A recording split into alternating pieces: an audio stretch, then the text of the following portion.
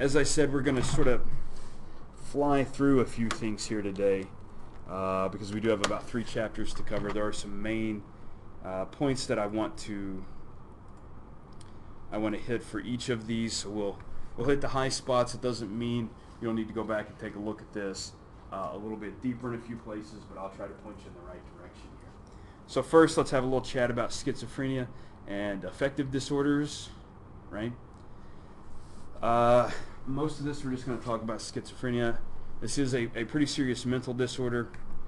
Seems to affect maybe uh, 1% of the population, right? So it's sort of a, a small group of folks. Uh, typically, you're going to see an onset in teens or young adulthood, right? So uh, anybody past the age of 30, you're probably in the, there you go, Zane, you're in the clear. Don't have to worry about this now. Um, the only caveat to that, and sort of an interesting one actually, um, is if you're a female. So you, you're like, there's like, uh, you probably, you know, you got to worry about it when you hit 30, you're okay. Uh, but then there's that other sort of later in life major event uh, that happens in women that adjusts their hormones kind of in all kinds of different directions. There is a bit of an uptick in the likelihood that you'll develop schizophrenia um, after menopause. So if you're if you're a female, uh, you guys will know if you are or not, right? Easy way to check. Um, you guys can figure it out you might have to worry about that sort of later in life uptake. The reason for that is is uh, there's some new evidence coming out, which is kind of cool, that maybe estrogen has a protective, um, sort of a protective feature for the development of schizophrenia, which would explain why men are more likely to develop schizophrenia than women, and then once you hit menopause and your estrogen levels drop, that there's that uptick in um, in the likelihood that females would develop schizophrenia. So it's sort of an interesting uh, sort of approach. Um, I don't know that there are any sort of um, therapeutic interventions working on that just yet. I'm sure some folks are thinking about it, but um, but there you go. There's also uh, just as a sort of added evidence to that, there is a uh, relationship between the age of onset of puberty in females and the likelihood that they will develop schizophrenia. So if you uh, hit puberty sooner, you're less likely to become schizophrenic again, because your estrogen levels are going to be higher for a longer period of time. And if estrogen is protective against this particular disorder, then you would imagine that would make some sense, right? So it's kind of cool. So there you go. Great job, Casey. Uh, there are sort of three categories of symptoms with schizophrenia. We think about uh, positive symptoms, negative symptoms, and cognitive symptoms. Positive symptoms do not mean they are good right? It just means you've got something that you shouldn't have. Negative, uh, in this case, I mean, it is bad, but uh, in this case, it means you're missing something that you should have, right? And we'll talk about that in just a moment. Uh, so for positive symptoms, we typically think about thought disorders, uh, delusions, right? There are different kinds of delusions that, uh, that folks will have. They're often uh, delusions of persecution. That's a pretty common one. Everybody's out to get you, right? Um, so watch out. You know there are people you know just just lurking around the corner, ready to get you. Uh, people are monitoring you all the time. Uh, delusions of grandeur, right? Those happen too. Uh, folks think there's somebody important. Uh, you know, there's the sort of stereotypical, you know, messiah sort of delusion, right? And then we also have hallucinations. If um, if you have positive symptoms, you're thinking about hallucinations typically this is going to be auditory, right? It's, it's not a whole lot of uh, visual. It's mostly you hear voices. Those voices might tell you to do things. Probably shouldn't do those things, right? I don't know how many people come into like the clinic and say, "Boy, I've got some voices like telling me to get up and brush my teeth and go to work and do a great job." Those those don't happen, right? These are voices telling you to do things that you you probably shouldn't do. Voices don't make a lot of sense, or occasionally they'll tell you to do something really awesome, um, but they're not really giving you any good advice to get there, right? Like, oh man, you got to go out and save the world, right? And you're gonna like feed all the hungry kids, and you're gonna do this by blowing up balloons. I, I don't know, right? It's always like something that doesn't make sense, right?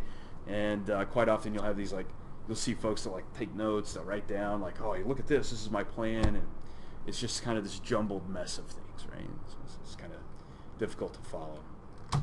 So there you go. Um, there is some uh, genetic component, but it's not. Um, it's not like Huntington's disease, which is if you get the gene, you've definitely got it. Right? There are genes that make you more likely to develop schizophrenia. Uh, there, it's like a whole cluster of genes. Uh, folks are still kind of working on those. This is why identical twins do not always both develop schizophrenia, right? Now, now, if one develops schizophrenia, the other one's obviously more likely than the average population to develop schizophrenia, but there have to be some environmental um, events as well to kind of trigger you into to developing this. Uh, here's that nice chart we were just talking about with the uh, sort of age breakdown in males and females. Again, males are more likely in general to develop schizophrenia, right? And this is particularly true in that kind of late teen, early 20s sort of grouping. But again, Zane, once you get past 30, you're okay. If you if you're if you're a guy, you're fine. You get past 30, if you're a female, you still got to watch out for that little uptick there at the end. So, don't want to make you anxious the rest of your life, thinking you're going to develop schizophrenia, but just hang in there. All right, we already talked about positive uh, hallucinations, thought disorders, delusions. Uh, there's also delusions of control, right? Like maybe other people are controlling you, making you do things, right? Like uh, didn't want to go eat that ice cream, but you know, shooting these rays from space. I know that sounds hilarious to like people who aren't experiencing these sort of things, right, Sarah? I mean, it's like rays from space making you eat ice cream, but uh, to folks who are schizophrenic, I mean, this is a very, I, I, this is not a joke. Uh, they believe it, right? And so this is, uh, you know, when I was in graduate school, a friend of mine, his roommate was uh, diagnosed with schizophrenia. His roommate was convinced uh, that his other roommates, like, like every night, they were coming in and kicking him in the back uh, while he was asleep because he woke up every morning and his back hurt. Uh, now, most of us, if we wake up in the morning and our back hurts, we, we, we look for other explanations, right? So uh, maybe I need a new mattress. Maybe I shouldn't like sleep with my textbook under me. Uh, you know, there are like other things that we think about. Someone who is, you know, schizophrenic, and they're especially if they're experiencing these delusions of persecution, you know, they're going to run to some other explanation, perhaps, right? And so, he, his explanation was everyone was coming in and kicking him in the back in the middle of the night, apparently didn't wake him up. I mean, he was apparently a very deep sleeper, right? Um, I don't know if any of you've ever been kicked in the back while you were asleep, but it's an easy way to it's a good alarm clock. It'll wake you right up. Get you out of bed in a hurry. Uh, if we think about negative symptoms, lots of folks who have schizophrenia, they'll have uh, flattened emotional response, right? So flat affect. They don't they don't talk much. They'll have poverty of speech. Uh, they don't really have a lot of drive, right? So they're not really going to get up. They're not going to be motivated to do things. Quite often, um, we see this sort of manifest itself in poor hygiene, right? So folks won't want to get up, they won't want to take a shower, they won't trim their fingernails, they won't do the things you know that, that most folks do every day, just as sort of a basic routine. Uh, they also experience something called anhedonia, right? So this is the lack of um, any kind of pleasure from, from normal activities, right? So if you guys normally you enjoy before you're diagnosed, let's say before you have any symptoms, you really enjoy uh, riding your bicycle or uh, playing video games, whatever it is, right? after you start to experience symptoms, you're probably not going to get much enjoyment from those things, right? And of course, all of that's going to add up to a bunch of social withdrawal, right? Zane, why would you want to go out in public if everybody there is out to get you? You got to watch out because when they stare at you, they'll make you do things you don't want to do. Um, you're not going to be talking to anybody. Everybody's going to look at you kind of strangely, right? You're not clean. You're not doing the normal things. You don't even have the initiative to really get up and go out.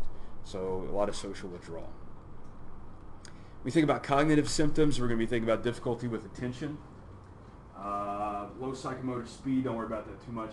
Definitely going to have some deficits in learning and memory. Abstract thinking is going to be difficult, and so is your problem solving, right? And so this is one of the, sort of connects back to that thought disorder kind of business, right? So we're having trouble sort of following through, putting ideas together. Some of these symptoms, there there's a little overlap, right? You know, you kind of see maybe you put them in more than one place but this is sort of the typical breakdown. All right, we already talked about this. We don't need to spend a whole lot of time on it. You guys know about twins. Uh, what are some uh, issues that, other than just what we think about for, for genetics, what are some other sort of, uh, other than the genes, what are other things that might happen? One, paternal age. This is one of the times when the age of the father actually seems to have an impact, right? A lot of times we think about the mother, especially when we think about Down syndrome, for example, right? Uh, that's almost exclusively due to the age of the mother. Uh, that's typically the, the, the main issue there. Did you talk about Down syndrome? Okay. So, uh, you know, that's typically the issue there. But with schizophrenia, paternal age seems to make, uh, you know, make an impact. Epigenetics. I don't want to give you like a full epigenetic lecture, although this is pretty cool business, right? So you've got your regular stranded DNA, you've got your genes, that's awesome. Things can happen to that, right? That twist it and turn it, uh, and these, there are these like histones and other kind of things, right? That can open and close particular parts of your DNA that allow you to um, to read that and make proteins, right? And based on epigenetic impacts, you can um, you can actually have some impact uh, generations away, right? Did I tell you guys about the? Um, I don't know. Did we talk in here about the rats and the uh,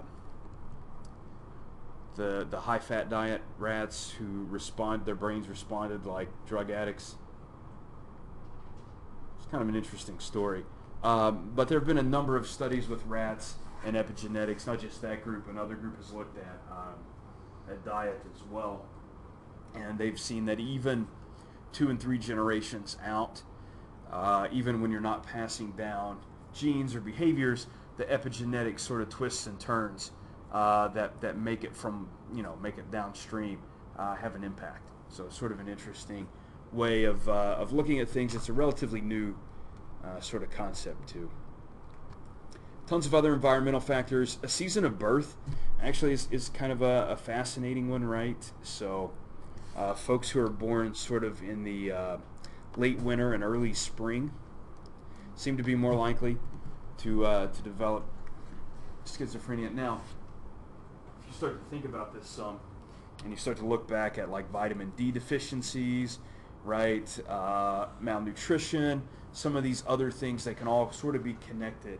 and, and overlap, right? There was a big study a number of years ago um, in, uh, I don't remember the country, it was a Scandinavian country, and they had, a, they had this uh, severe famine. What they found is, you know, folks who were born during or right after that famine, they were at, a, at an increased risk of developing mental health issues of just about all kinds, but in particular schizophrenia, right? And so they were dealing uh, with these sort of issues. So there you go. Um, again, these are not. So just because you were born in February doesn't mean, you know, you're definitely right. So I don't know. Somebody smiled at that. Maybe your birthday's in February. Uh, that doesn't mean that you're definitely going to get schizophrenia right. It just seems to be a slight increase in folks born late, uh, late spring, early winter. So or late winter, early spring. So there you go. Of course, if you've got all of these things kind of piled up together, and then on top of that, you've got those genes that are, uh, you know, making it more likely for you to develop schizophrenia, right? Let's say your father was was, I don't know, Larry King. Uh, that was funny to four people. Uh, the rest of you look up Larry King later. His last child was born when he was what, 250 years old, something like that. Is that true, Casey? Probably. Uh, you know, he's he's quite old, has a drastically younger wife, um, and and has two kids with her. So, um, I don't know. I think it's the suspenders. It has to be it. It has to be it. I need to. The red ones. I'm going to switch to suspenders. I think my wife would appreciate that. Maybe I'll just We'll try that with somebody else. Uh, all right. There are some brain things that uh, that are different, right? Obviously, if you're um, if you're behaving differently globally like that, maybe there are some some changes. In particular, your your ventricles seem to be enlarged. You guys remember those fluid-filled spaces sort of in the middle of your brain, uh, and you actually have a corresponding loss of gray matter. Now, gray matter are brain cells, right? Those are cell bodies. White matter is going to be the axons, but they seem to actually be losing some um, some gray matter as well. On top of that, there are actually some uh, what we call minor physical anomalies associated with schizophrenia. Uh, did you guys talk about fetal alcohol syndrome? Okay, so with fetal alcohol syndrome, uh, with Down syndrome, there are some rather pronounced, uh, what we call stereotypical sort of physical features, right?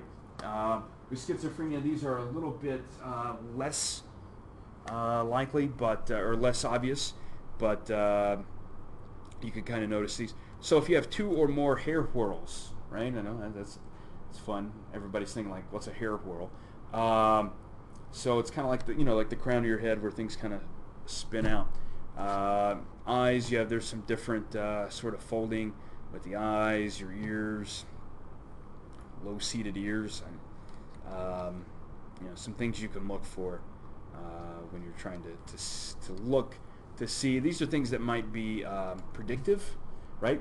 These are things you could look for probably in a young child that uh, would not maybe be experiencing any symptoms yet, right? And So that would be maybe helpful in some sort of like, hey, let's get prepared for this. What can we do uh, to think about things, right? You, you always want to do that. So if any of you have kids, you know, like start look, looking at their head whorls, hair whorls, like, oh, how many they have?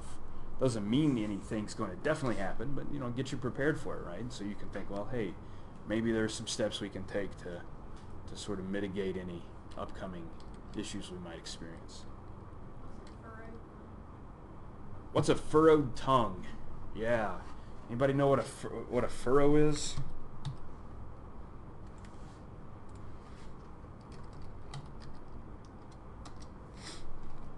It's a long, narrow trench made in the ground by a plow. Obviously, you're not using a plow on your tongue, uh, but if you have a furrowed tongue, see something like that. Come on, Google, give me images. Yeah, you can kind of see that you have, uh, you'll have some long fissures in there. Yeah, those are just nasty looking. Obviously, there are a number of reasons why you would have a uh, furrowed tongue. Uh, dehydration, obviously, being one of those. Like, don't go out and, you know, I know you're already worried, right? Because, like, February. You know, you're like, after a race, you're to run, and you're to go, like, straight into the mirror, and you're to look at your tongue, and it's to, like, you know, look a little uh, dried up, and you're to go, oh, no, problems now. So. And then you're to have this whole conversation with yourself about whether or not you should shave your head to see how many hair whorls you have because your hair is so long it's to flatten them out, right? Uh, so if you have longer hair, it's going to be a little more difficult to determine if you have a hair whorl um, because the hair is going to pull it down. So if you have shorter hair, you, you kind of notice uh, more easily. So there you go. Keep that in mind. Also with long hair, you don't know if your ears are low-seated or not. So you got that problem. So just helping you out all around. Uh, da, da, da, ventricle size, we already talked about that. Folks with schizophrenia seem to have larger ventricles. They seem to have, um, everybody, hey, hold on for this. Everybody's going to lose some gray matter as you get older. It's already started. Look at this. I mean, this graph starts at 20, but you got to go back. I mean, this is like when you were 10. You're already losing gray matter now, right? Uh, it's just going to keep happening rest of your life. No, make that happy face. Uh, you guys are excited about that. Um, if you have schizophrenia, you're going to lose that gray matter at a slightly faster rate. Uh, these are actually uh, identical twins. So this is kind of cool. These are identical twins. One was diagnosed with schizophrenia and one was not, right? Because the one who was not diagnosed was not having any symptoms, right? I mean, that's what what's going on there. But you can definitely look at the ventricles. Here is the, uh, you know, um, they say healthy twin. I, I don't it's not always the best word to use, I think, right? Because this guy might have been healthy too. I mean, he just had a little trouble there with his brain. So, but you can see the enlarged ventricles in that individual compared to his identical twin. So that's kind of cool, right? All right. Um,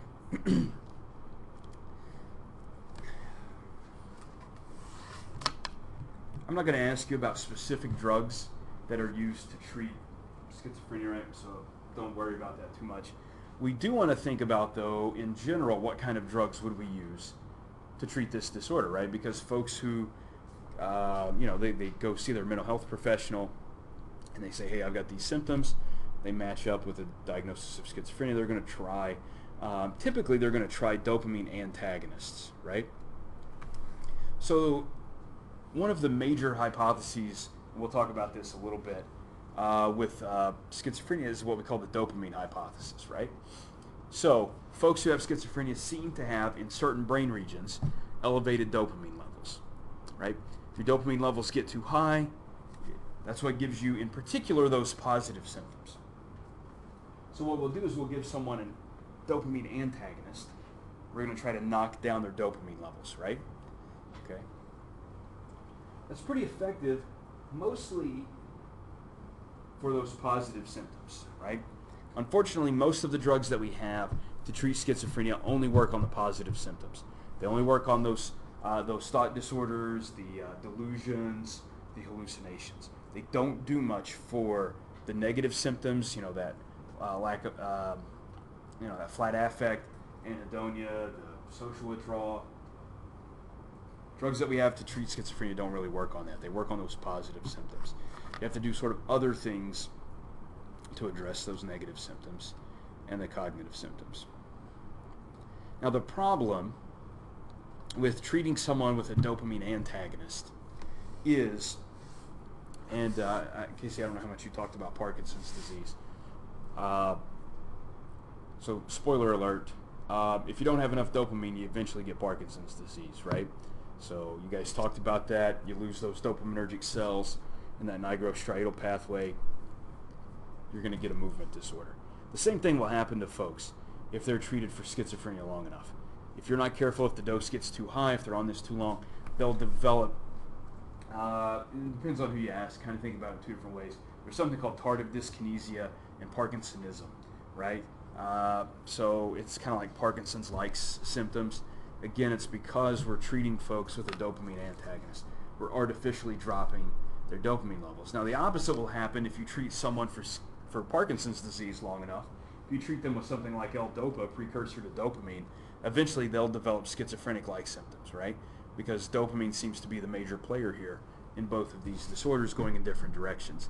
Now, there are some ways around this. Uh, recently, there have been uh, there's been some work with what we call like partial antagonists or partial agonist. So things that work better than nothing, but not as good as like full-on dopamine, right? So they'll give you a boost enough to kind of alleviate some symptoms, but not so much that it puts you over into this other sort of problem, right? Saying I think about that like tax brackets sometimes, right? So like previously we were just giving people a raise just enough to put them in the next tax bracket so they actually bring home less money. Uh, with a partial agonist or antagonist, we give you just enough of a raise to get you at the top of your current tax bracket. So you're actually bringing home more money, but you're not paying more taxes. So you're actually getting a raise, right? So it's actually helpful to you. So, um, so that's kind of how I, I think about uh, partial agonists and antagonists. So they seem to be pretty good. Also, another reason we know that dopamine seems to be a major player in schizophrenia is uh, if you give someone a dopamine agonist, like, I don't know, cocaine seems to be a good dopamine agonist. If you give somebody cocaine, they'll actually experience some psychotic symptoms, right? Similar to schizophrenia. So it's always a, a, question if you guys are ever working in a, in a clinical setting and someone comes in and you're like, I don't know if this guy's schizophrenic or he's on cocaine. Uh, and, and, that's a true true question. Um, I, I, don't really know how you resolve that other than just like wait. Uh, you know, put them in a room without cocaine and then see if the symptoms go away. Um, if they do, then it was probably cocaine. If they don't, well, they're probably schizophrenic, right? And so I think that's a good way to get you a differential diagnosis there. But that is that is troubling sometimes, especially you bring somebody in, you do a drug panel on them, right? And you're like, oh man, they got a lot of cocaine metabolites in there. They're also hearing voices. Well, um, is that because of the cocaine, or they, you know, they say they've got some other problems as well? You have to kind of wait and find out. All right. We already talked about that. There's some other idea, and I don't want to spend a whole lot of time on this because it wasn't right, but uh, so I don't really, you know, feel like you need to know a whole lot about these D2 receptors and other things right now. But there were some folks who thought, well, hey, D2 receptors seem to be an issue, but uh, they're probably not really what's driving the issue. What's driving schizophrenia is just that increased uh, amount of dopamine, right? Now, again, this is not an increase in dopamine um, necessarily everywhere, right? It's just an increase in dopamine in certain places. And that that's why these drugs that work globally cause problems. So with Parkinson's, we were saying like, oh, you've got a decrease in dopamine, you know, headed uh, from the substantia nigra to the striatum. Okay, well, let's give you some dopamine, you know, or a precursor to raise dopamine levels. It's going to raise dopamine levels everywhere, including like your prefrontal cortex, right? It's going to raise dopamine levels all over the place, even in some of those other pathways. So as of yet, we don't have a great way to specifically target. We just want to increase dopamine in one particular region. I think we're getting there. We've got some great techniques coming out soon. Um, they've got these like designer receptors now, which are kind of cool. So they've got ion channels that are coupled to a receptor for a substance that's not in your body at all. It's an artificial substance some guy in a laboratory makes. And they can inject these into your brain cells in certain regions, and then they can give you a pill with that drug in it, and it's only going to work on that small brain region where they injected those special receptors, right? Which is kind of cool. I think that's probably the wave of the future. Right? If you've got Parkinson's disease, uh, you get one kind of brain surgery. We're going to inject these, uh, the DNA for these ion channels, make a few of your brain cells, make those ion channels, and then you just take this pill the rest of your life, and it actually causes those cells, those ion channels, to open and close, and uh, kind of bypasses a lot of other things. Pretty cool. It's pretty cool. Um, you guys should be watching out for that. I think your your imaginary kids or grandkids will, would use those. Because you guys, I know, aren't going to have children, as we've discussed that. So. Right, Casey? We've taken care of that for you.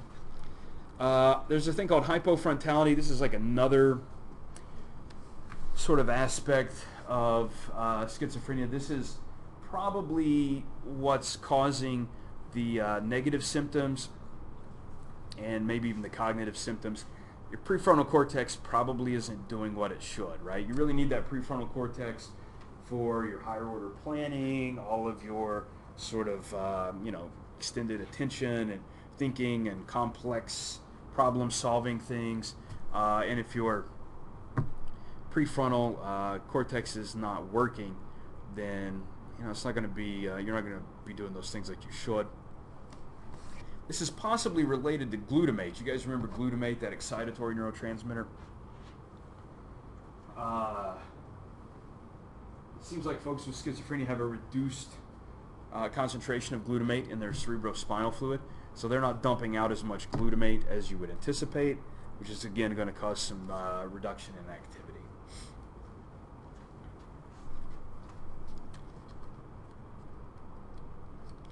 And yes, you can uh, you can treat these folks with like PCP. I know, right? That's pretty interesting. Um, uh, PCP works on that glutamate receptor? So to kind of work on some of those negative um, symptoms. Let's see. Here's that partial agonist story we were just talking about. You guys can read about that. Yeah, here are. Uh, here is a, uh, a test. This was actually with monkeys, right? And so what they did.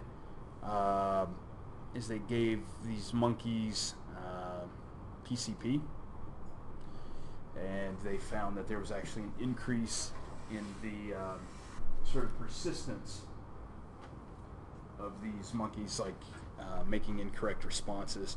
So that kind of showed that they had um, sort of continued drive and initiative, right? I know you would think like normally like why would you want to keep making an incorrect response, right? But sometimes uh, you drop something, you like have to keep reaching for it, and you keep missing, right? You, know, you have to just keep, keep reaching. You just want to give up, right? Like drop my keys. Well, I'm just gonna leave them there. I guess I'm sleeping outside tonight. Um, you know, you're gonna have to you're gonna keep trying to get the keys from wherever you dropped them. Maybe drop them down, like you know, under your seat or something in your car. Um, so that's sort of an analogous task here. I wouldn't recommend taking PCP to help you find your keys. Like if, if anybody's dealing with that specifically, Zach, I just want to toss that out there. Um, huh? Yeah, yeah. I don't know, right? Sometimes people just really, you know, they only listen to one thing you say. Apparently, there's a whole group around here that thinks I told them they should do LSD, and that's not exactly what I said. I said if you're going to do a drug, you should do LSD. That's completely different. You know, if you're going to do one, do the one that's safest, right? And that's what I say.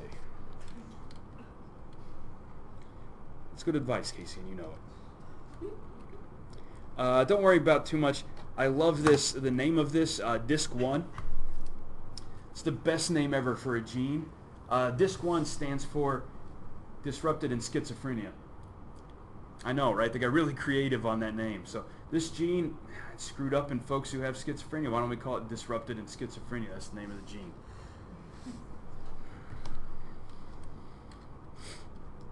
So you don't have to worry about that. Here's the story about those partial agonists. Again, they work a little better than nothing, uh, but not quite as good as a full agonist, right? And so that would be a way to sort of increase function, but not increase it to the point that it causes a problem. The opposite story is true for a partial antagonist, right? It's a way to decrease activity a little bit, but not decrease it down to zero, right? So that you actually like would develop a movement disorder. All right, we could talk a little bit about affective disorders. Basically, you've got bipolar and major depressive disorder. I'm going to kind of skip through this. All kinds of treatments. Um, I'm sure you folks are probably familiar with a lot of these. They're different antidepressants. Some of these are monoamine oxidase inhibitors. Those guys prevent the, the enzyme that breaks down your monoamines from working, so you have more monoamines available. Uh, other drugs to treat um, are typically um, SSRIs, right? You guys familiar with selective serotonin reuptake inhibitors? I'm sure we all know someone who's taking an SSRI, right? They're pretty commonly prescribed for a variety of things. They prevent the reuptake of serotonin more serotonin seems to make you um, seems to make your uh, depression dissipate a bit, as well as some other issues. Also, uh, ketamine seems to be an effective way to treat depression. Again, I would not recommend, you know, just like on your own, trying ketamine. Uh, ketamine being, uh, you know, a common date rape drug. It's used recreationally. It's a dissociative anesthetic. Anybody have cats or horses or dogs or I don't know, fish. You could probably anesthetize a fish with a dose of ketamine. Uh, ketamine's used as a veterinary anesthetic, but it does work. Uh, sometimes uh, there's even evidence that says even up to three months out from a ketamine dose, uh, your depression actually is, is alleviated. So I think there needs to be some more work before we start, you know, just shooting people with ketamine to make them feel better. But there you go. All right, let's skip this.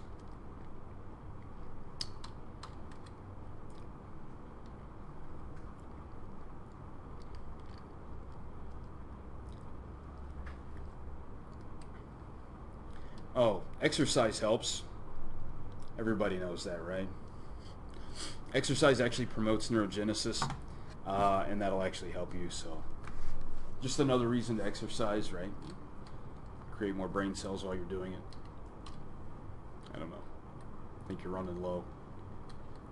Uh, circadian rhythm. Oh, this is the other thing I wouldn't recommend as a long-term sort of solution for. Um, depression, but uh, sleep deprivation works, right?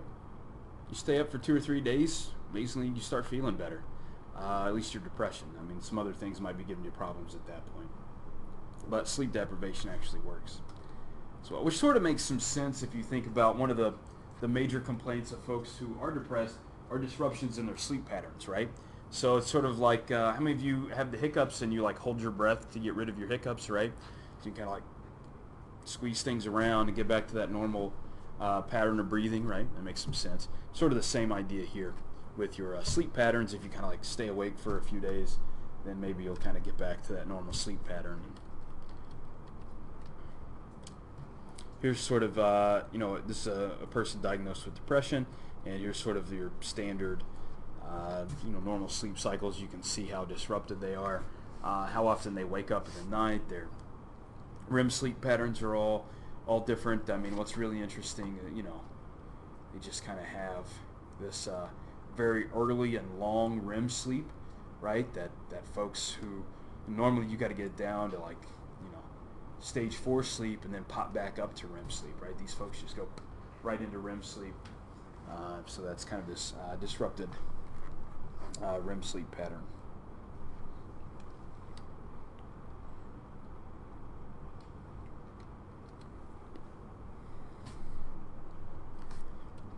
We talked about that. It actually works in like two thirds of the folks, right?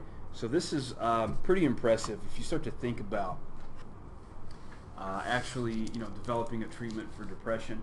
One of the reasons it's so difficult to get a drug to market for depression is quite often just like sitting down and talking to someone who's depressed will make them feel just as good as the drug, right? And so anytime you give someone a drug, you want to make sure that the benefit they're getting is actually uh, better than placebo, right? You don't want them to just, you know, take a drug with all these side effects. Uh, even, you know, SSRIs have side effects, right? Um, they're not as bad as some antidepressants. Some of the early antidepressants, one of the big side effects was sexual dysfunction. Um, and there's nothing in the world that'll get you depressed like some sexual dysfunction. Um, so nobody's going to comment on it. Nobody knows anything about that no idea what you're talking about there. Um, but uh, but you know SSRIs don't seem to be as bad for that, but that, that does still happen some. Um, but yeah, if you can just like sit down, talk to somebody, and you start feeling better, why? Should, I mean, there's no side effects to that, right? So typically, what is it? The kindly professor is that what they call that control group? Sometimes, have you heard of this? So like often when they um, when they test a drug, for depression when it gets to clinical trials. So, you know, have one group take the drug. The uh, one of the other groups, they'll make you go talk to a guy in a cardigan, and you just have to go sit in his office and talk to him for a little bit. you know what I'm talking about. That's not what it's called, though, is it? I don't think it's called. The kindly professor. I like that. That's what we'll call it from now on. We're just going to rename it. It's called the kindly professor. He has to wear a cardigan. I'm certain about this. Uh, and and that's that's just how that goes. So there you go. Um, yeah. So basically, this is a graph just showing what I just told you. Sleep deprivation works. It's pretty effective. If you get something that works in two thirds of the patients and doesn't cause any side effects, really, I, you know, go for it, right? Uh, we've already talked about um, circadian rhythms, phototherapy. We joked around a little bit about, you know, if you move to Alaska, they give you a floor lamp to keep you happy in the in the dark months. Casey, that's true. You're looking at me like I like I was thinking about Alaska for some reason, and, and all of a sudden I'm like, it gets dark there all the time. So, and that's and then you can't see that's uh, you can't see the bears when they jump out to eat you because it's dark. Did we talk about the grolar bears in this class? So you know things are getting hotter, right? Just like in general. And because of that, polar bears are getting really agitated. Um, and so they're getting so agitated they're like coming down to non-polar bear places, right? And then those other kinds of bears that are also really big, like those grizzly bears, right? They're actually like, hey man, it's kind of warmer. I'm gonna keep going this way. And then like a polar bear and a grizzly bear, they meet up. And like you know, if you're a polar bear and you meet a grizzly bear, what are you gonna do? Um, well, that's what they do. Yeah, and then they have something called a grolar bear that comes out. I don't know how long. What's the gestational period on it? Bear. Do you have any idea? I'm to say like 12 months later. I don't know how long it takes to grow a bear. Um, and so they're like these like hybrids of grizzly bears and polar bears. True story. True story. And they're frightening.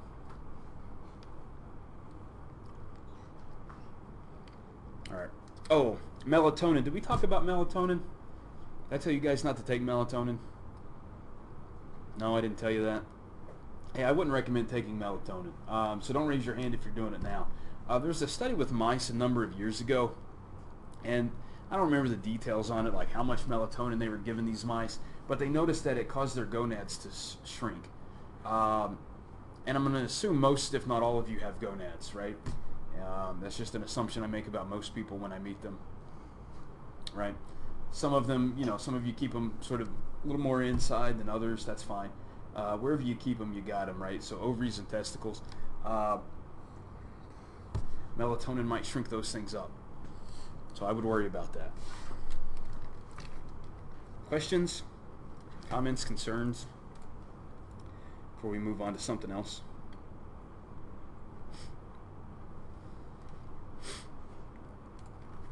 Well, that's great, I guess. See if we can get this to load.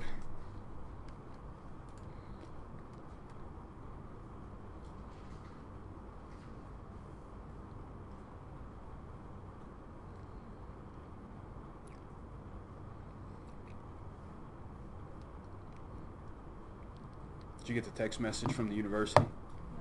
Huh? Yeah.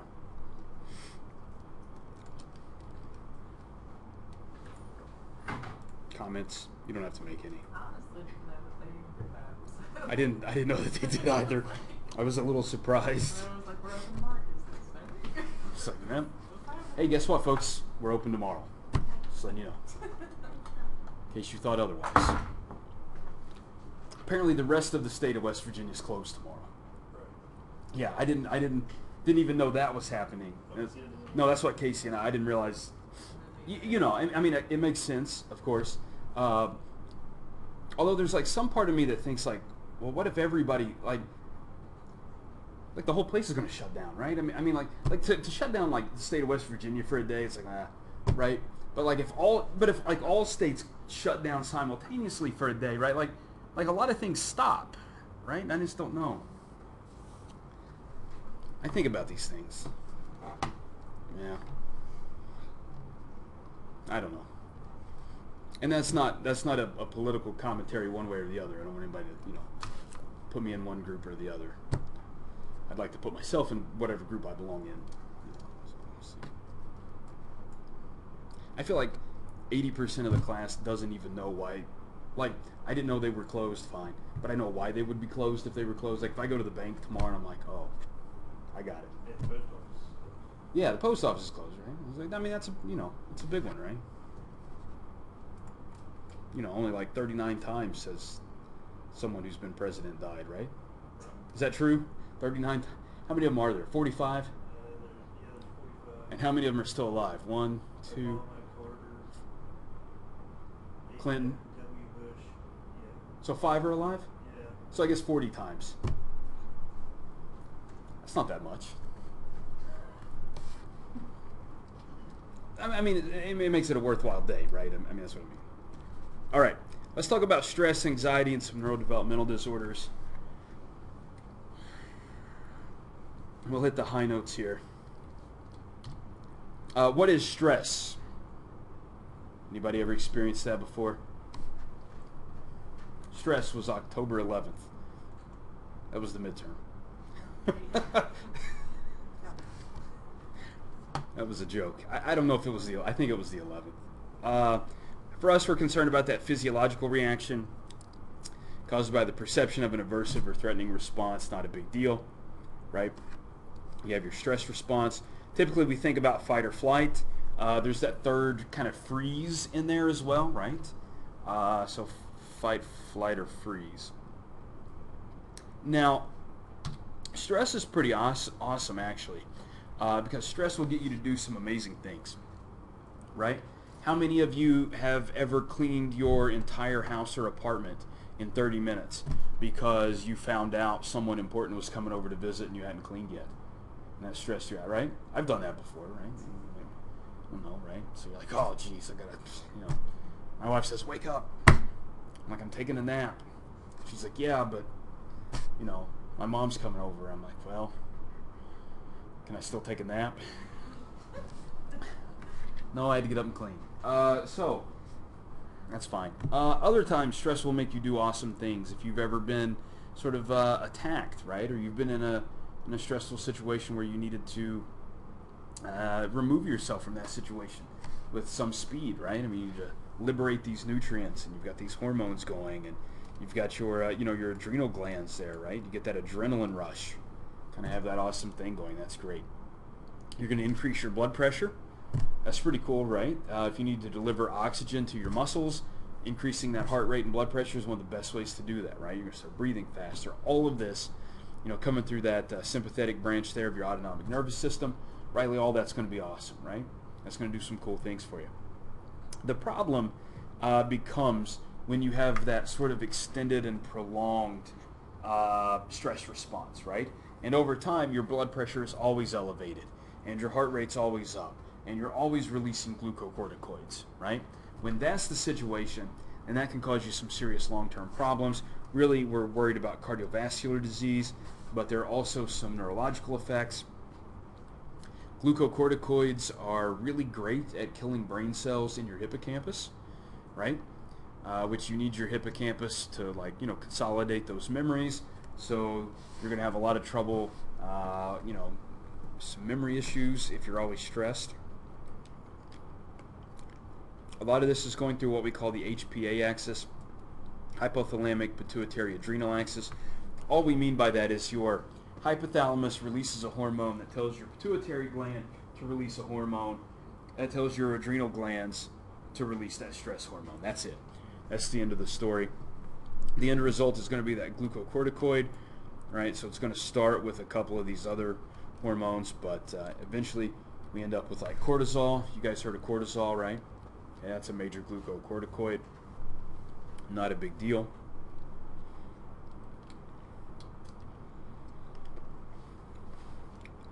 And here's the story. Hypothalamus, pituitary, adrenal gland.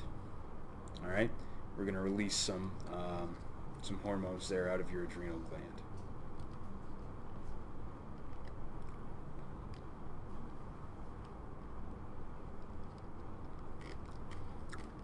This is kind of interesting study. Uh, they looked at folks who were air traffic controllers. Some of these were at uh, high stress airports. You know, like a high stress airport might be like, um, you know, Chicago O'Hare, right? That's a pretty pretty busy airport. Low stress airport that might be like, um, you know, Tri-State and Kenova. Pretty, pretty low stress airport. I don't know if any of you've ever been in or out of there. Um, I love that they say they have three gates. They have three doors that lead out to where they park the airplane. It's not really three gates. Um, somebody will like take your ticket. And they'll also like you know check your bags. They'll also load the bag, and then I think I saw them once put on a pilot's uniform. Uh, I think it was all the same guy. Uh, there was a second person that they need because they have to have somebody out there to crank the propeller to get it started. So they do have at least two people who work at that airport. That I know. Uh, but I think that might be the extent of it. So I think that's a low stress airport. So if you look at the development of hypertension, high blood pressure, uh, high stress, they're much more likely to develop high blood pressure than those folks who work in a um, in a low stress environment. What's really interesting is you know this this kind of time period here from that 35 to 45 year. Once you hit like 45, you know the likelihood that you're going to have hypertension sort of drastically increases for everybody. But look at that that offset there, right? I mean, these folks are developing severe hypertension. You know, they're getting that 10 years earlier than folks who work in that low stress environment, right? So there you go. Pick a low stress job, right? Like uh, like a really good low stress job, Casey, is listening to people talk about past abuses, current current abuses, uh, listening to them wanting to kill themselves. Very low stress, right? The most low stress. Guess we're in the wrong line of work. It's not hard at all, right? You don't take that home. Never, never, never, right? Never. Why you should get a job like, I don't know, putting wheels together. There's no stress there. Just put a wheel. You don't have to worry about taking that home. Like, oh man, I'm worried about that wheel. No. Though like that uh people who did like uh work like on cars and stuff, ended up because they never got to see really the result of their work. They were just doing a small part of the automobile building that they had lots of like. Yeah, there's there's some. Uh, so you need a low stress job that lets you see projects to completion, gives you a lot of creativity uh, and a lot of flexibility. So good luck with that, folks. I don't know. There you go. Um, also, what are some other long-term effects of stress? High blood pressure, damage to muscles. You can get diabetes, infertility, uh, inhibition of growth. Not really something you have to worry about at, at, any of your ages um, at this point. Um, you reduce your inflammatory response. You actually suppress your immune system. So, I'm telling you this, Morgan, not so you can use it as an excuse to not be here next week. Okay? But there is a relationship, there is a correlation between stress and things like wound healing. There is a relationship between uh, final exams and students actually getting sick, not really faking you out. Although there are a number of those who will say, "Oh man, I was so sick and I had to go to the uh, you know the free walk-in clinic," and they told me, "Yes, you were here." Um, that was your illness that day. You were here. I don't know. Don't really give me any more information than that. But there is a correlation between uh, you know like final exams and uh, this was particularly true for med students. I don't think it's true for any other group of students. Uh, since you guys aren't med students, it doesn't work, right, Andre? So don't pull that one on me. I'm ready for it. Uh, we also said that uh, glucocorticoids will destroy uh, part of the hippocampus, in particular the CA1, right? They actually decrease the entry of glucose and they decrease the reuptake of glutamate, and that's how they actually uh, destroy those cells. So that's kind of the cellular mechanism there. Uh, prenatal stress can actually cause long-lasting malfunctions in learning and memory, right? So if any of you think you have some uh, learning and memory problems, you need to go back in time and tell your mom to relax, uh, and that'll definitely help. If any of you are going to have children, try to relax while you do that, right? Like like for that whole period, like for a couple years, plan ahead a year, right? Like get your vitamins and diet straightened out. Uh, you know, paint your nursery with something not lead based. Uh, I love those. Uh, I actually thought this was a good, and often I don't, but I thought this was a good advertisement. Um, I was driving uh, to campus and I saw this sign that said lead paint comes with a lifetime guarantee. And I thought, that's not right. And then I thought, the next line says it causes problems for generations. It's like, oh yeah, that is right. That was a good one. Got my attention. So there you go. Avoid the lead paint. hmm All right. This is not anything to worry about. It's basically a graph showing you that um, if you expose a rat to the smell of a cat, it gets stressed out, starts releasing some glucocorticoids, not as good at learning, so you got some problems there. This is interesting. So early life stress, so we're thinking about, you know, what's the fun acronym for early life stress? ACEs, right? Adverse childhood experiences, right? Basically, the more adverse childhood experiences you have, the harder things are going to be on you later. The more likely you are to develop just about every sort of uh, mental health problem you can imagine.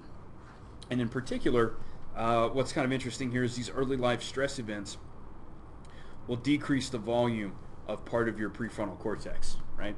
So it actually has a direct relationship on neurological development, which I think is actually kind of fascinating, right? When you can map something on to that neurological development, you can say, yes, early life stress will cause a decrease in the volume of this particular brain region. We already talked before about prefrontal cortex, uh, some of the role of prefrontal cortex in impulse control, you know, and some of the other um, interactions there with the amygdala. Don't worry about this too much. Don't worry about that too much. All right, here's that whole branch of neuroscience that's looking at, uh, you know, basically the environment, the nervous system, and your immune system. It's called psychoneuroimmunology. I'm not going to hit you too hard with this antigen antibody business. If you're interested in it, I say check it out. Um, these are basically parts of your immune system, You guys have probably heard about these. But uh, in particular, we want to talk about something called cytokines.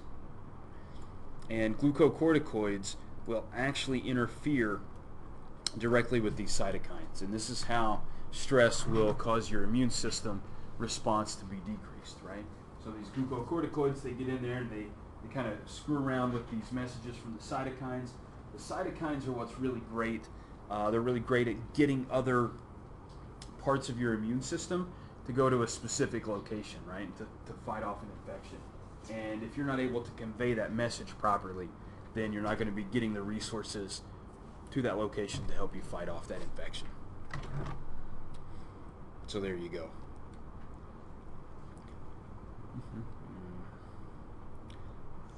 This is kind of interesting too. So these are uh, spouses of folks with Alzheimer's, and they were also their uh, caregivers, right? And they actually found that if you give these folks uh, a bacterial pneumonia vaccine, they actually have a weakened response, like a like a weaker response to that. So anytime you guys get a vaccine for something, right? And I hope you guys do that every opportunity. If they're passing out free vaccinations, just sign up, right? Uh, because somebody's saying, not only are you not going to get this disease, but we're going to not give it to you for free, right? So that's pretty awesome. How many of you had the hepatitis A? So I, I Thanksgiving, whatever, right? So I decide like, hey, I'm, I'm actually like painting my basement on Thanksgiving because it's, it's, I don't know, right? It's something to do. So I'm painting my basement and I, I get hungry. I'm like, well, all right, I'm gonna go get something to eat. Not really, you know, I just don't think like Thanksgiving, right? So I got to drive like almost two towns over to find something open because I, I don't live in Huntington, right? So I, I live somewhere else. And the only thing I find open is a Steak 'n Shake. I'm like, well, all right, whatever. Right? I was like, I'm not going to cook at home. I'm covered in paint. I'm just going to get something. I pull up to the window, and I, like at first, this was comforting to me. It said, everyone who works at this location has had the hepatitis A vaccination. And then I thought, I'm just going to eat at home. I don't know. So there you go. Uh, but anytime you get a vaccination, your uh, antibody levels are going to go up, right? Because that's basically what a vaccine does. It increases your antibody levels. That way, when that particular uh, you know antigen, that particular invader, whatever that is, comes into your body, you've got something ready to attack it and destroy it, right? And so if you have these uh, vaccines, they'll often do a uh, have to do a blood test, right, to make sure that your antibody levels are high enough. I had to have the rabies vaccine a few years ago. It was a three-step thing. They had to give me three shots, uh, which were not pleasant. And then I had to go back and they had to take my blood and they had to measure my um, rabies antibodies to make sure the level was high enough so that I actually had some protection against getting rabies. And I did, so that was great. Uh, but if it hadn't been, they would have to give me more shots uh, up until the point that my, my blood levels of rabies antibodies were high enough. Because if they're not high enough, it's not going to help you. So if any of you are rabid and you try to bite me, it's going to irritate me, but I'm not going to get rabies from it. Although I might spontaneously develop rabies later in life. So you guys should watch out for that. If I start like foaming at the mouth in the middle of class, make sure I'm not like reading your exams, because that'll do it to me anyway. All right, let's see. Not a big deal. Uh, this is basically everything I've said, but in graphical form.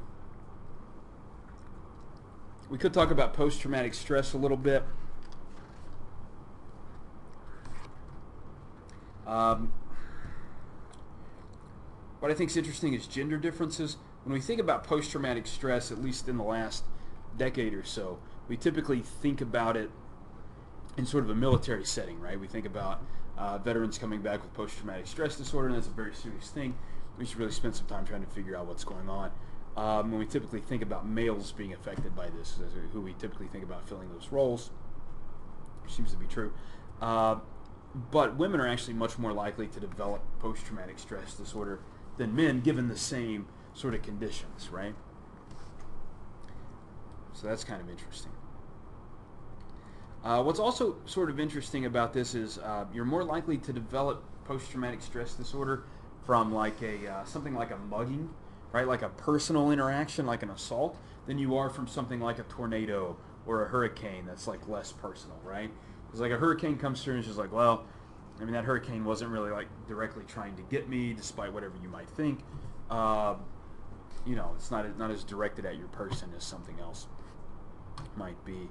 Uh, PTSD, we're thinking about you have these sort of recurrent recollections of that traumatic event. You got experienced a lot of stress, flashbacks, right? You have an exaggerated sort of fear response to something, um, which is sort of interesting. Did we talk about Tetris in this class? All right, we'll talk about that in just a moment when we talk about treatments. Now, there is some heritability, but again, you have to have that environment, uh, that environmental sort of stimulus to develop PTSD, right? Even if you have all of the genes that make you uh, susceptible or more susceptible to PTSD, doesn't mean you're going to get it. You actually have to have that environmental event, and even folks who are not as susceptible can develop PTSD given the right conditions.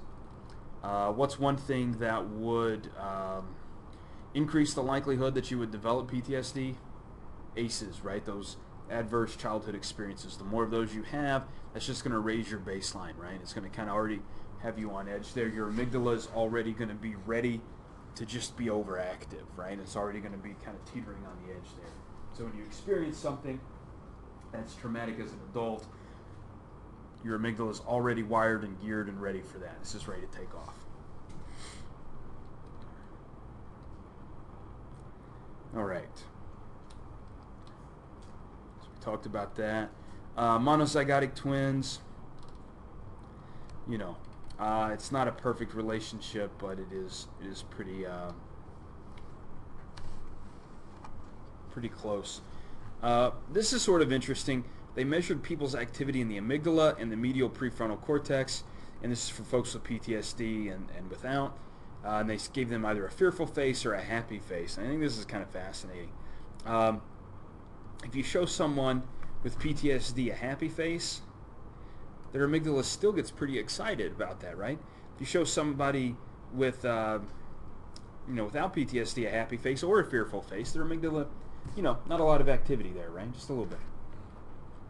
But this kind of shows you that already someone with PTSD, even when they're seeing a happy face, their amygdala is already geared up, right? It's already ready for something negative. It's already ready for that fear stimulus.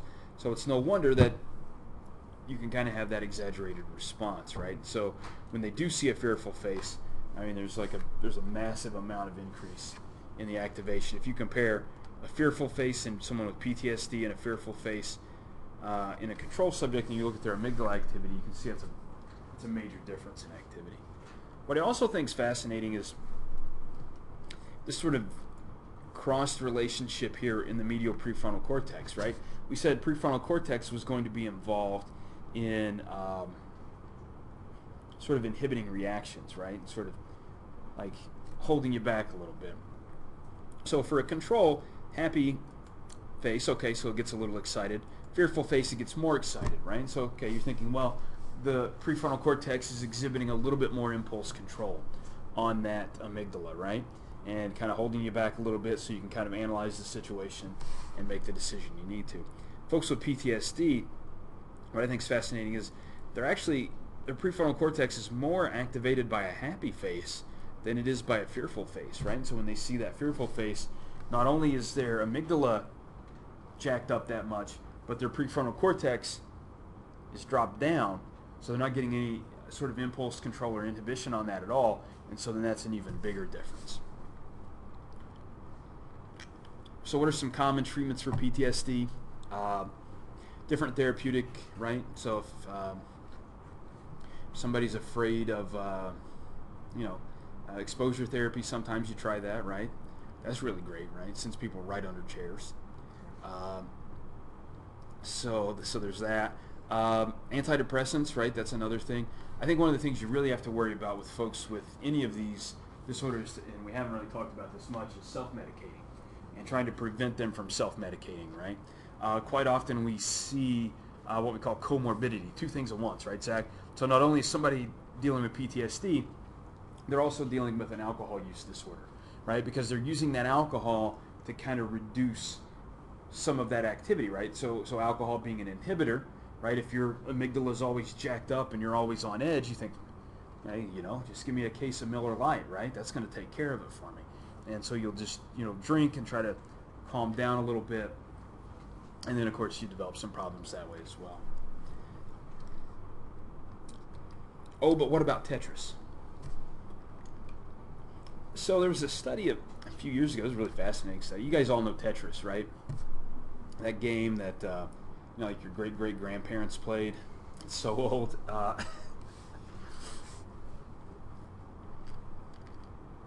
I don't know when Tetris debuted. Yeah, I think it was in the 80s as well. Uh, so, Tetris. Uh, so they these folks did this study a couple years ago, where they took folks and they made them watch a video.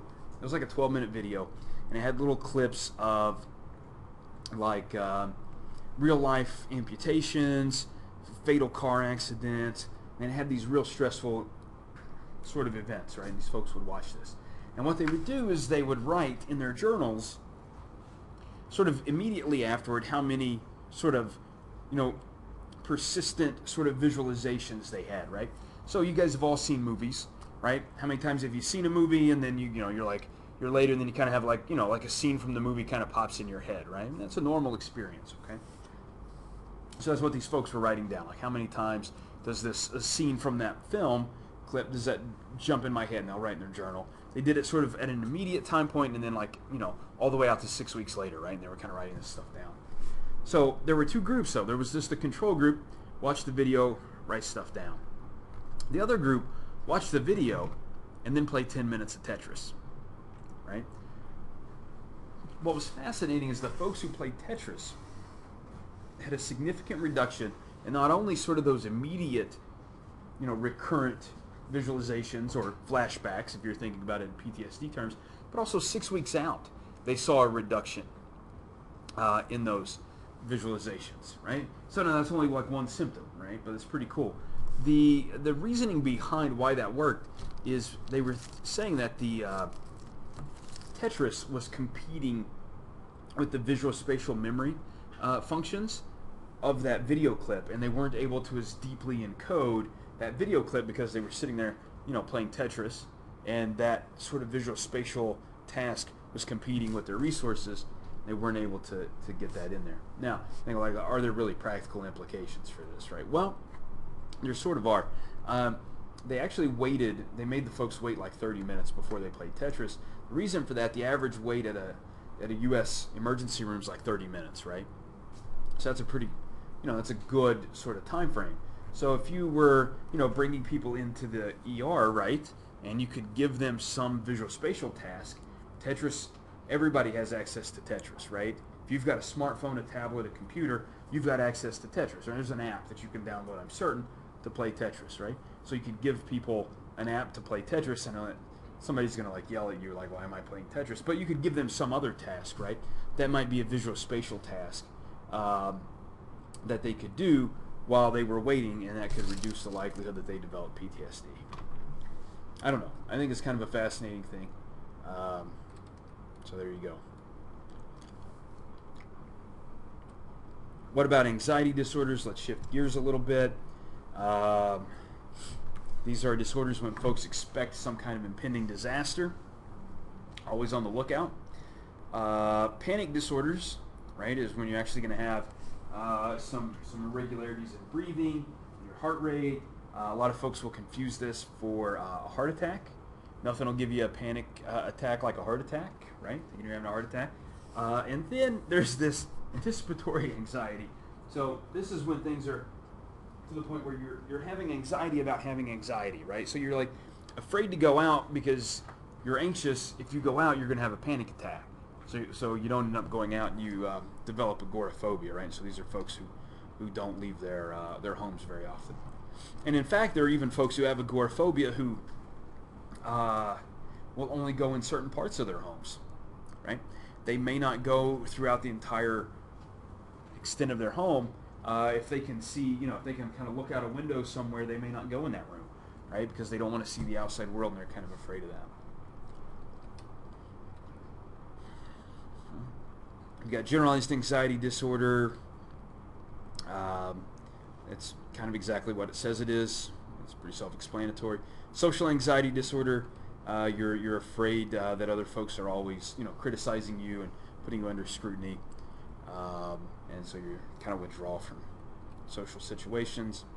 Does seem to be heritable, um, but it's not again perfect. There's that GABA receptor. How do you treat this? Um, typically, you give folks things that activate their GABA receptors a bit, right? Because you want to kind of reduce anxiety by increasing inhibition. So you can give them things like benzodiazepines, right? That'll open that um, that chloride ion channel. You don't want to really take a benzodiazepine for an extended period of time. They're not that great, right? They're awesome if you're having a total freak out and we need to like you know put you down for a couple minutes. Benzodiazepines are perfect for that. Uh, they're not a maintenance medication, right? And so, uh, unfortunately, a lot of folks have been on benzodiazepines for months, years, and this is bad. And if you're on a benzodiazepine and you've been on one for a very long time, I would recommend you talk to your mental health professional about that. If they tell you, "Oh, it's fine," I'd get another mental health professional.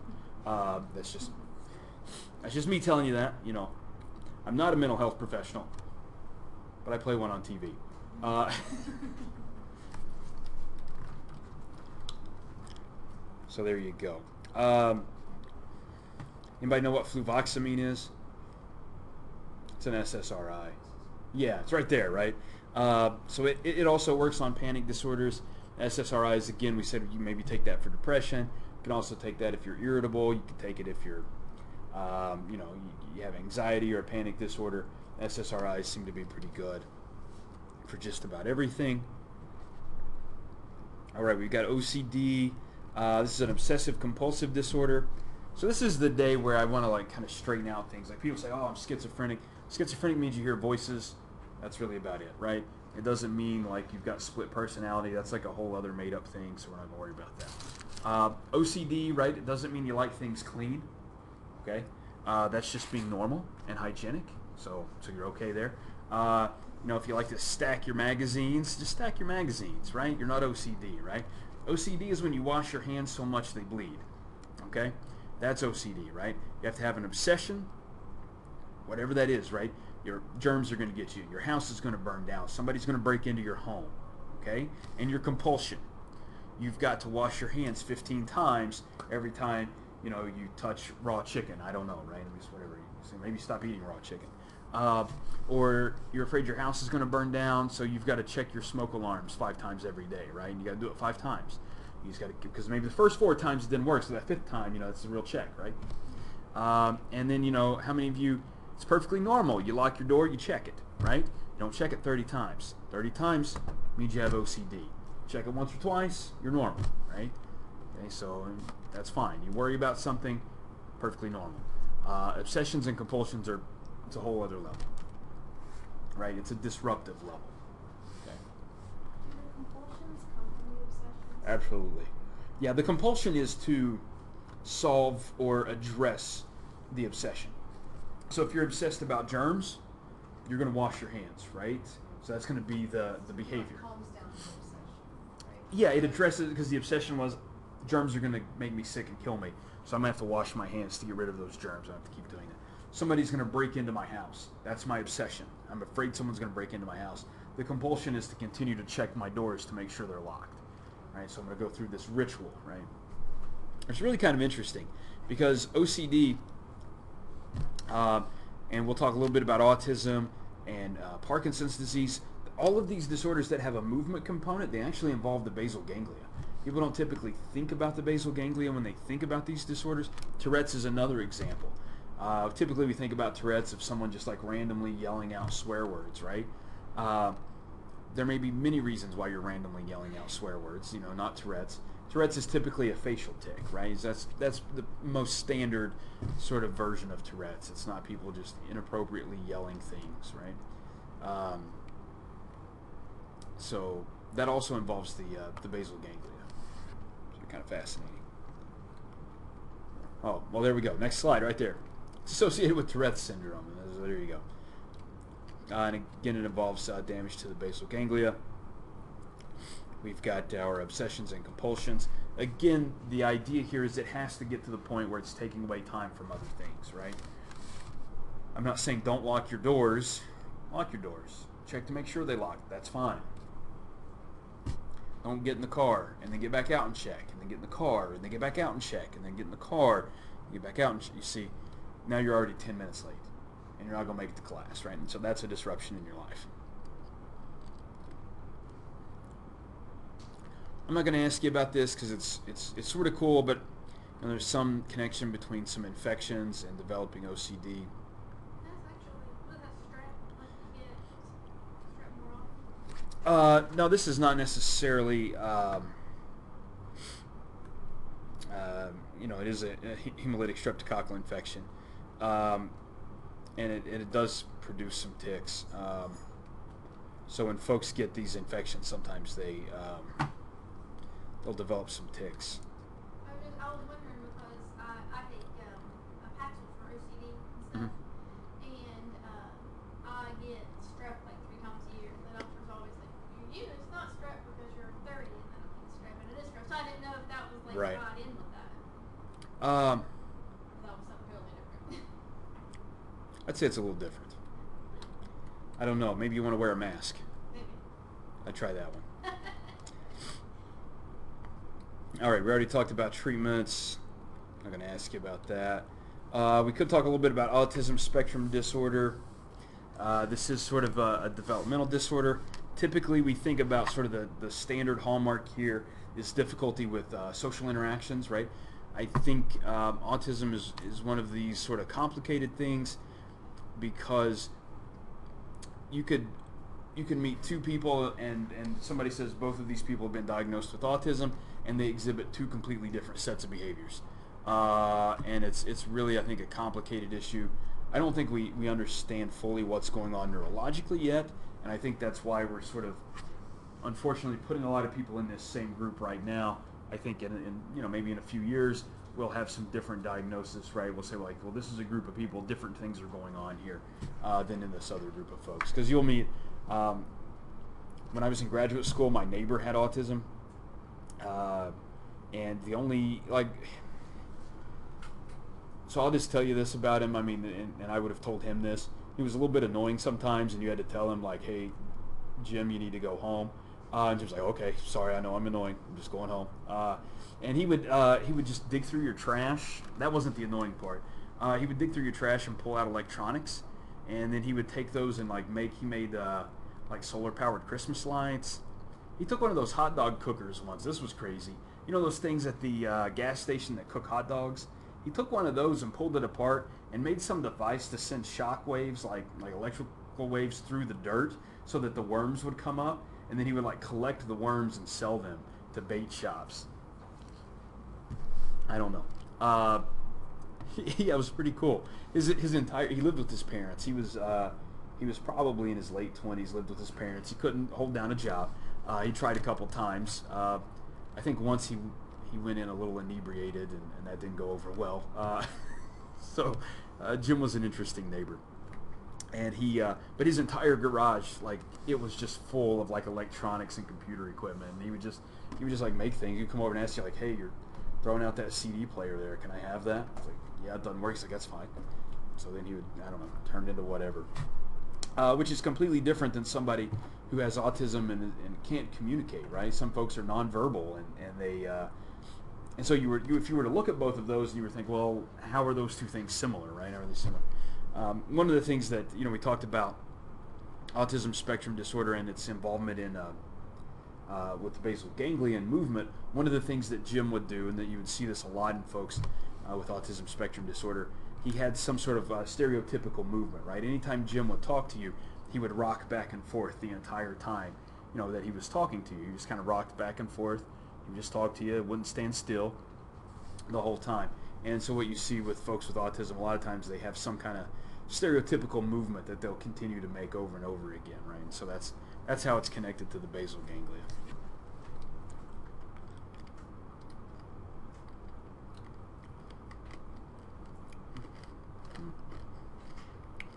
Let's see. Most of the time you see this in childhood.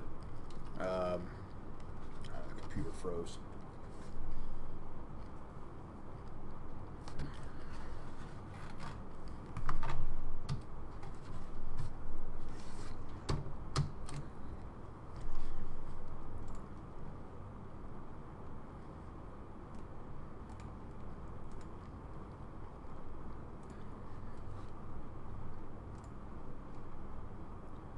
I think they send update. It happens every day in this class.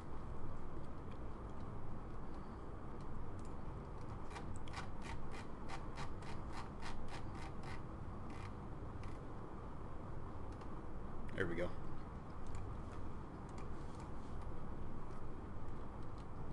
So, um, anyway, uh, sort of the, the, the broad overarching sort of thing that you want to look for here is, is going to be that um, sort of altered social interactions, right?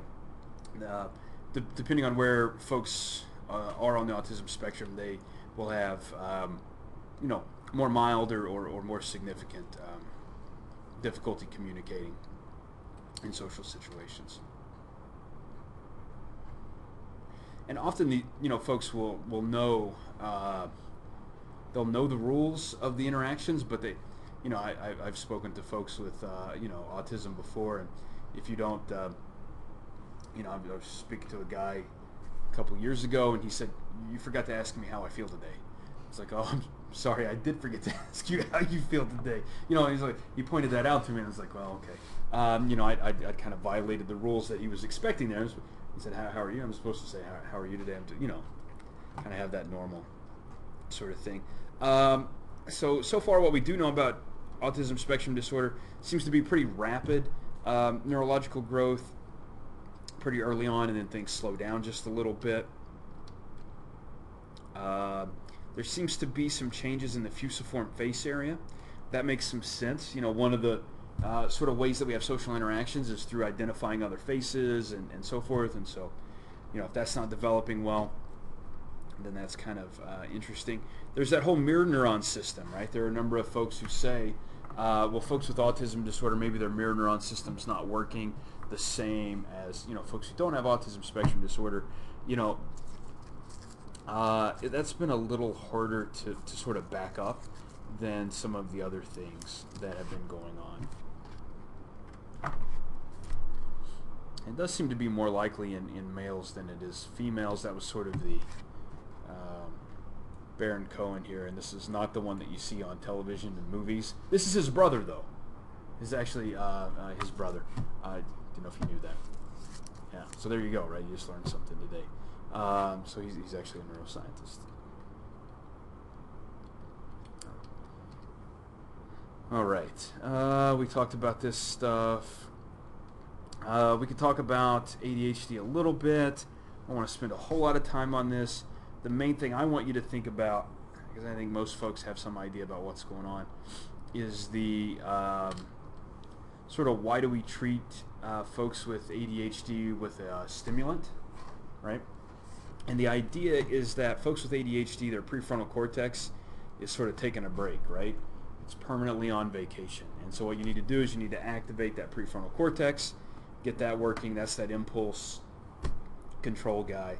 You know, if it's uh, if it's out there and it's not doing what it's supposed to do, then you know people are just going to be you know randomly doing whatever jumps into their their minds. So uh, so there you go. All right, questions about that before we move on to the next chapter. I know we're just flying through here, right? I want to get you out before 8 o'clock tonight.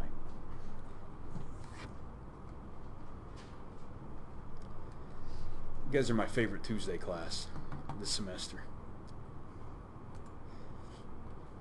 I, don't think you guys knew that, did you? Well, now you do. So I hope you feel better about yourselves.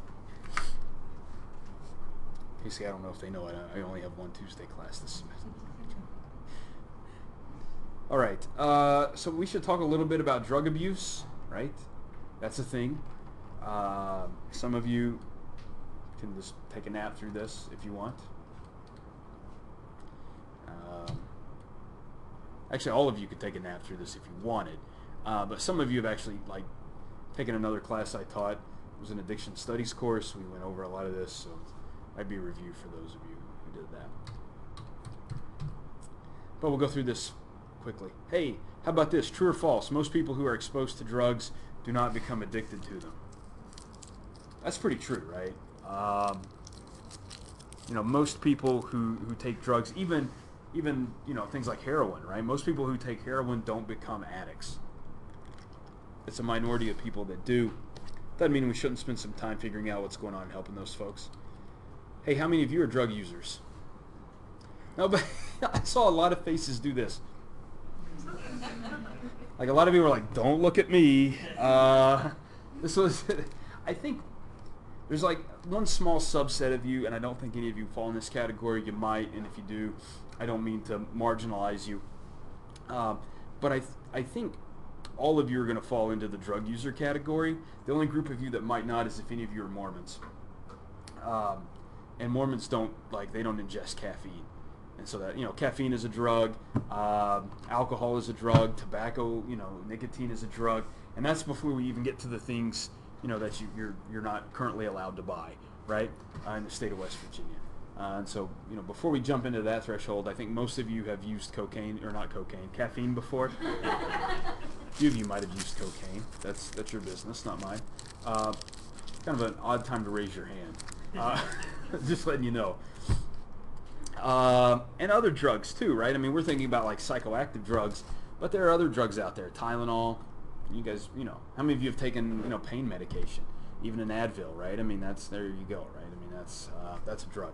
Any any kind of chemical substance you're going to put in your body uh, that your body did not make, that's coming from the outside world, that's a drug, right? That's some exogenous substance. Uh, there you go. So, uh, we should think about, uh, you know, drug addiction. Some people say substance abuse instead of addiction. Um, you know, the terminology I, I think might matter to the person it's directed to, right? I don't know that it changes the um, definition or the, the concept any. For me, I actually kind of like the word addiction better uh, than substance abuse because I take a little bit of a broader definition of this uh, than some folks, right? And so, for our purposes, we're going to be thinking about, uh, you know, substance abuse, you know, and, and, then they'll even put alcohol separately, right? How many of you are familiar with the the DSM-5? Is it a five? Yeah, it's it's actually substance abuse and alcohol use disorder, right? They're two different things. Substance abuse disorder, substance use disorder, that's it, and then alcohol use disorder. They're two separate things. And then there's a third category for only one thing, and that's a behavioral addiction. That's gambling, right? So that's kind of like this third thing. Um, you know, from the brain's perspective, just about anything can be addictive. Um, there's a certain brain uh, set of brain structures we'll talk about in a moment that have to get activated. As long as they're activated, the brain thinks it's addiction. Doesn't matter what it is, right? And that can be a substance, or that can be an activity, right? It can be uh, gambling, right? Gambling's fine. It can be cocaine. Cocaine fits this category. It can be, in fact, it can be the, the ritual you take to inject heroin that might actually be uh, activating those brain regions, right? So it may even be the, the, the behavior you're doing, not the substance itself, even though a substance is involved. And the substance is going to do something as well, but the behaviors um, can also be involved there. So a lot of folks will take this medical model approach. That's much better than the, the what they used to call the willpower model, right, Cameron? It was just like, you're a bad person because you're a drug addict, and I'm sorry. Uh, and that was really not good, right? And so I was like, oh, I feel horrible about that. You know, I'm just just no good, right? I'm just an alcoholic, bad people. Um, we moved past that to this medical model. It's very practical because it gets you access to insurance that will cover treatments. That's awesome describing what's going on in your brain, it doesn't really do much. It's like, oh, you've got a diseased brain and you're addicted to heroin now. It's like, no, no, not really. Uh, your brain's doing exactly what it's supposed to do. It's supposed to find activities that increase dopamine. When that activity increases dopamine, you want to repeat it because dopamine makes you feel good. Now, typically, things that increase dopamine are like taking care of your kids, finding good food sources, uh, personal hygiene, uh, hanging out with friends and family, exercising, right? These are things that increase dopamine. If you happen to luck onto something that increases dopamine more than that, and it's cocaine, well, man, your brain's just going to go with it, right? It doesn't know. It just knows I do A, and dopamine goes up. So I'm going to keep doing A. It's that simple, right? Whatever that activity is, it's not really a um, it's not really a big deal. So I like to think about it from more of an evolutionary perspective, right? Your brain has evolved to find the activity that increases dopamine the most with the least amount of effort, right? And there's some sort of what we call a break point with drugs. So caffeine will increase dopamine levels, right? What will you go through to get caffeine, right? Like how much effort if you're if you're really craving caffeine, like well, you know, you might walk over to the student center, right, and go to Starbucks. Okay, and that's probably the extent of it, right? You're not going to do much more than that. If it takes much more effort than that, Andre, you're like, "Eh, forget it, right? Now, if you're addicted to cocaine, you're going to do a lot more than just walk across campus to the student center, right, and lay down like eight dollars for a cup of coffee or whatever they charge you. I don't even know how much it is. Like I, I don't drink coffee, and I've been into Starbucks like four times, and it was always to get something for my wife, and so it's well, whatever. It's a little marshmallow treats, the one here on campus anyway. So, uh, so you'll do a lot more because the payoff's more, right?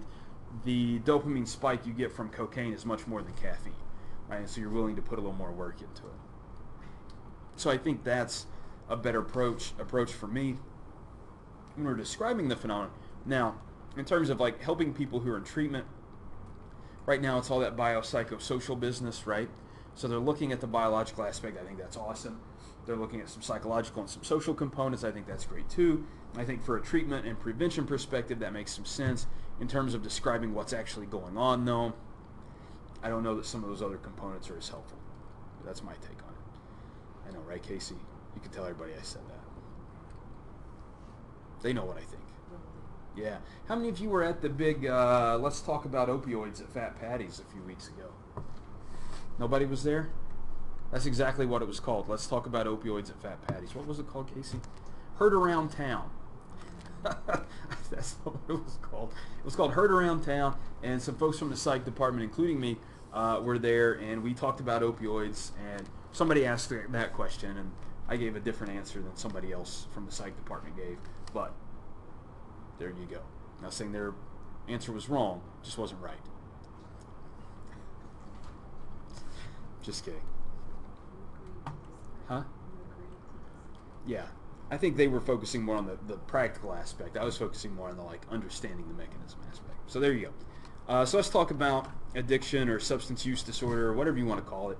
Um, it's all going to shake out to be about the same, right? Definitely, you're going to crave this substance. Um, you might even try to stop using it. But a lot of your time, when you know it's become a problem, is when a lot of your time is spent seeking and acquiring the substance prevents you from doing other things, right? This is why we never talk about someone having a caffeine addiction, right? Because, I mean, again, how much of your time is lost walking over to the student center and getting a cup of coffee? None, right? It's a perfectly normal thing. You probably took your friends with you, right? So it's not something where we think about that's disrupting your life. Somebody who has a cocaine addiction, on the other hand, then you start engaging in illegal activities. You start taking risky behaviors. You start doing things that are detrimental to you, uh, and you start sacrificing that time that you should be spent that should be spent on other activities. And then that's when we say, okay, you got a problem, right? Uh, all drug use is not problematic, right? It only becomes prob- problematic when you're uh, causing harm to yourself or you're pulling yourself out of those normal daily activities, right? Here's a whole list of drugs that uh, are, are commonly abused, right? Uh, I don't know. Some of these maybe uh, don't belong on this list. I think you could make a strong argument that uh, marijuana should not be on the list of abused drugs. Uh, and, and one reason I say that is because all of these other drugs that are on this list, um, there's some weird stories here, but let's say all the rest of these drugs uh, do a great job of jacking up your dopamine levels, right? Okay. And that dopamine level in that sort of that mesolimbic pathway, that mesocortical pathway, that's that reward pathway, right? That drives this behavior. Um, marijuana doesn't really seem to do that in the same way, right? It doesn't really seem to have that same activity. Another group of drugs that are typically on the like don't touch that list are are things like LSD, right? LSD, um, psilocybin, right? These drugs are typically drugs people think of like, oh, those are bad drugs. They also don't increase dopamine levels. They work on the serotonergic system. They do a completely different thing. So they're not addictive, right? And so they're not. If you're not jacking up those dopamine levels, it's not something that's going to cause that to be an addictive behavior or an addictive substance, right? So I think putting those in a different category makes a lot of sense. Saying that, that, that marijuana can be abused, I don't know. That's something you could have an honest debate about, I think. And perhaps not even included on that list.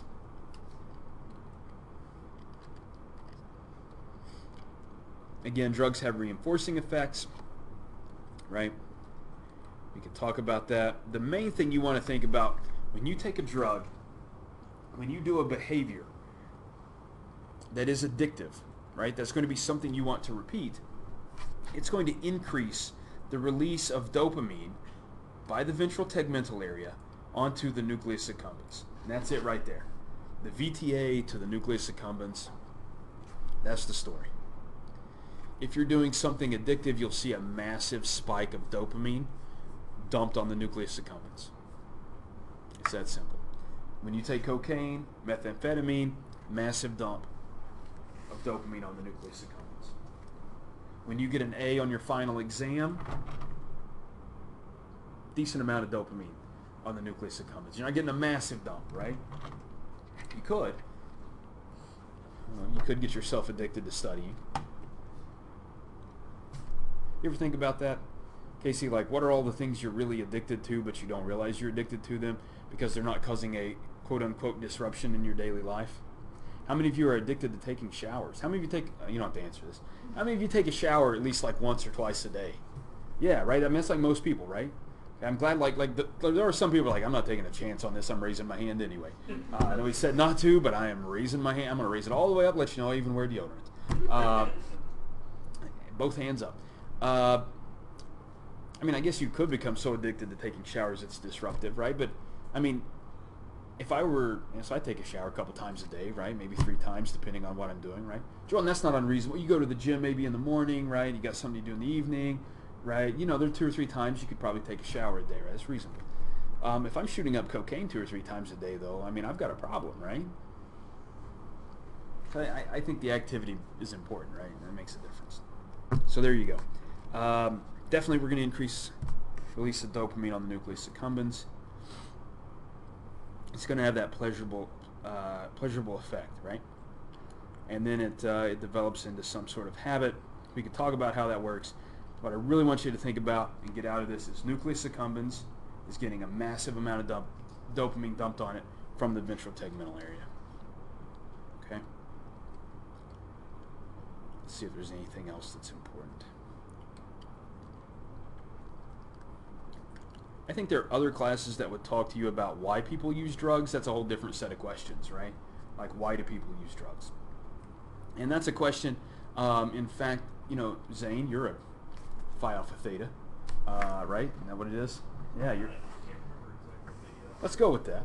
Uh, you know, I mean, if we were to ask history, right? I mean, like, how long have people been using drugs? Since there have been people, right? Since there have been people, they've been using drugs. And probably even before there were people, something was using drugs, right? You can ask the people over in the anthropology department, they'll tell you. Uh, drug use is, is pervasive in all cultures, right? And there are drugs that are used um, without problems, and then there are drugs that are used with problems, right? Uh, and this happens in a lot of cultures. It's not just ours. Um, it's, it's been a historical problem. It's a species problem. We've got a brain that evolved to, to do activities that increase dopamine. And if we happen to, in our experience, luck upon an activity that again increases dopamine in a massive way, we're just going to keep doing it. So, there you go. Uh, let's see, we don't need to talk about that too much. Skip this. Negative reinforcement, don't worry about that too much. craving. This is actually something that I think is important. It's kind of an interesting thing. Kind of goes back to that learning and memory model that we talked about with extinction and the reinstatement of behaviors, right? So I think this is this is a problem for folks uh, who have been on drugs for a long time and then they go into some sort of treatment, right? And let's say they're clean for a number of years and then they relapse, right? All of a sudden they find themselves in some sort of situation that reminds them of one of their previous drug use situations and they'll often um, kind of lapse back into that drug use activity and they'll relapse. Why this is a problem? This wouldn't be such a problem if um, if if people were prepared for that, right? And I think you should be. I think if you or someone you know has dealt with addiction, you should know. I've not forgotten those behaviors. I've not forgotten that association, right? And at any moment, if I get in the right setting, I can trigger that behavior again. So you got to watch out for that. But also, I think what happens to a lot of folks, we see folks who have been clean for an extended period of time, and then they suddenly have a massive overdose, right? And the reason for that is uh, tolerance, right? While they were on drugs for whatever time period that was, they developed tolerance to that drug, right? And so they're taking, you know, so if you start a drug and you start down here with a low dose, and then over time you have to increase the dose, right, to have uh, that same desired effect. And then you stop taking the drug and you're clean, and you go back and you're like, wow, last time I used drugs, I was using, you know, five milligrams or whatever. I don't know what it is. Uh, and you go back and you use that same dose, you're not prepared for that physiologically, right? Those tolerance mechanisms have dissipated, and you hit that massive dose again, your body can't handle that. Um, and that's why you would see those folks have overdoses uh, often if they've been off drugs for a while and they try to, or they get in a situation where they go back and, and relapse. So that's my relapse story. And relapses happen. I think that's the other thing. Like, don't expect you're going to stop using drugs and you're just going to be clean the rest of your life, right? I mean, relapses happen. It's perfectly normal, right? It's perfectly neurological. Your brain is set up to relapse, right? Because you want to keep that relationship stored there somewhere because you never know when that's going to be true again, right? It's the same thing with the the ring the bell and you get shocked, right? You never know when ringing a bell and getting shocked is going to be true again, so you can't get rid of that. It's the same thing with addiction. You're not going to get rid of that. Okay? So I think if you were, um, I think everyone would benefit if they realized that. Because I think sometimes folks get frustrated with their family members when they have a relapse. Get frustrated with yourself if you have a relapse, right? If you've tried to uh, stop using a drug. Now, this is not me telling you, like, if you're using drugs, just keep using them. Don't try, you know, forget trying to stop. That's waste of your time. No, you're saying be prepared for those times when you are going to have relapses because I think that will help you.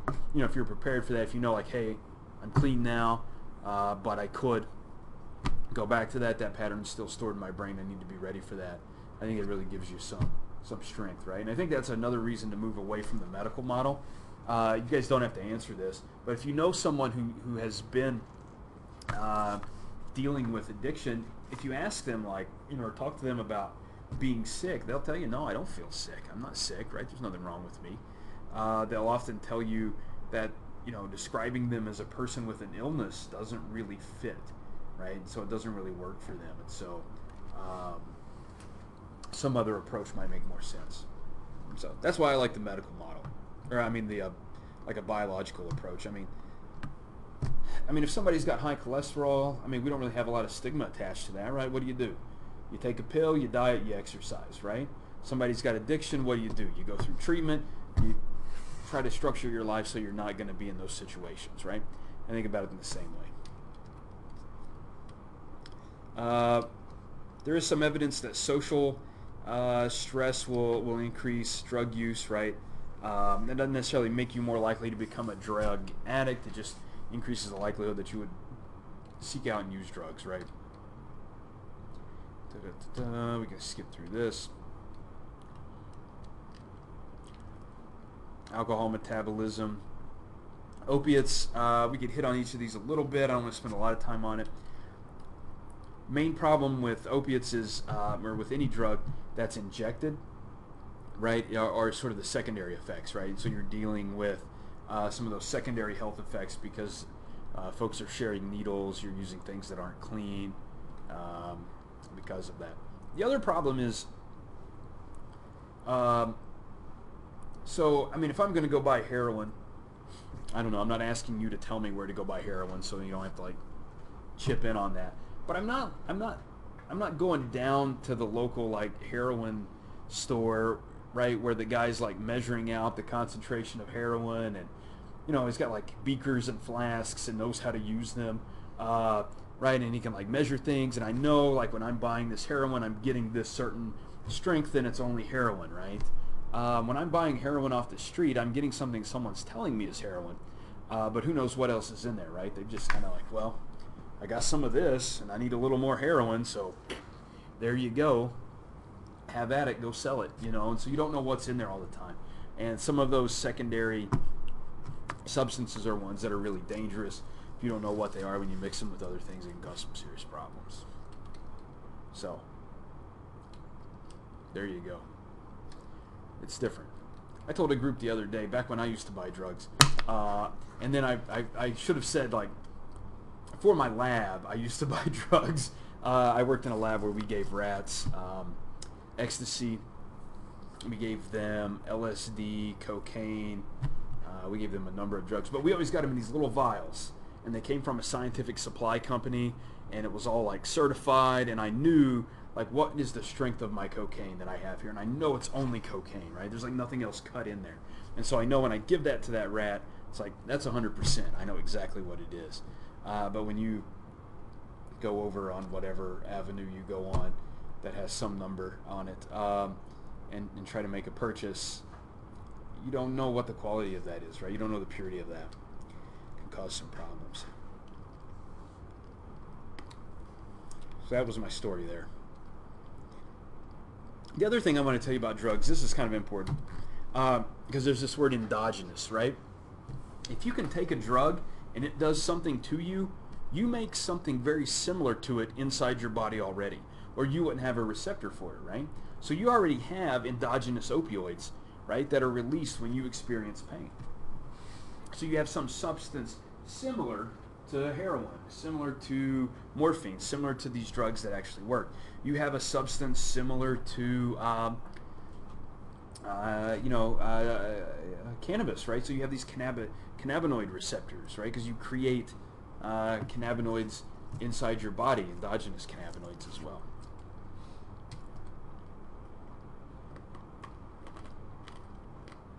Let's see. See if there's anything else I want you guys to know that we haven't already talked about.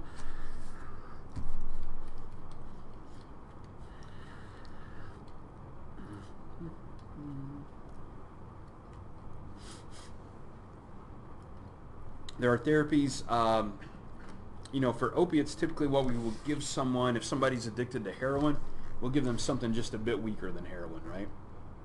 To try to prevent them from having those relapses and cravings, and also to prevent them from having um, going through withdrawal. I don't know if anybody's ever been through withdrawal, seen someone who's gone through withdrawal. It's not a fun time, right? And for some drugs, it can actually be life-threatening. Uh, alcohol being one of those, right? If you're a severe alcoholic and then you go like I'm going to try to quit alcohol, don't do that at home by yourself, right?